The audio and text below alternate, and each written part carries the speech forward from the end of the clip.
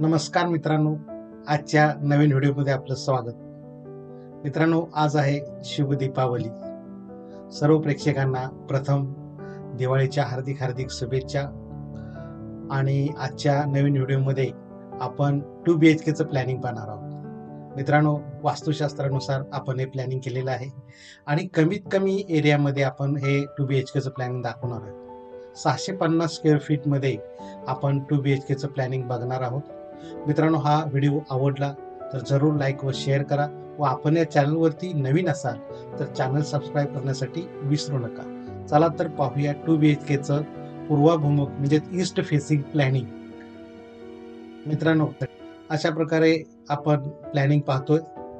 पंचवीस फूट हॉरिझॉन्टल आहे आणि व्हर्टिकल पंचवीस फूट सहा इंच आणि व्हरांडा या ठिकाणी तुम्हाला दिसतोय. पाच फूट बाय सहा फुटाचा व्हरांडा आहे. आणि पूर्वाभिमुख ही वास्तू आहे. इथून आपण उत्तरेकडून एंट्री आणि मेन डोअर जो आहे पूर्वेला आहे. आणि या ठिकाणी तुम्हाला दिसतोय हॉल जो दिसतोय तो चौदा बाय चौदा फुटाचा आहे. या ठिकाणी सिटिंग अरेंजमेंट इकडे टी व्ही वगैरे अरेंजमेंट दाखवलेले फर्निचर लेआउट आहे. आणि हॉलमधून आपण या ठिकाणी एक पॅसेज किचनमध्ये जाण्यासाठी आहे. आणि हा कॉमन टॉयलेट आहे मित्रांनो साडेपाच फूट बाय चार फुटाचा. आणि हे किचन आग्नेयला आहे. या ठिकाणी ओटा आहे पूर्वाभिमुख नऊ फूट बाय नऊ फूटचं किचन आहे. त्यानंतर इकडे आपण या पॅसेजमधून हा मेन डोअर आहे बेडरूमचा नऊ फूट बाय दहा फुटाचं एक बेड आहे. इकडचं पण नऊ फूट बाय दहा फुटाचं बेड आहे. या बेडला आपण अटॅच दिलेलं आहे टॉयलेट साडेचार बाय सहा फुटाचं. आणि हे जे टॉयलेट आहे आपण या पण रूमला अटॅच देऊ शकतो. वाटल्यास या रूमला तुम्हाला कुठेही एका बेडपैकी कुठल्याही बेडला अटॅच देऊ शकता.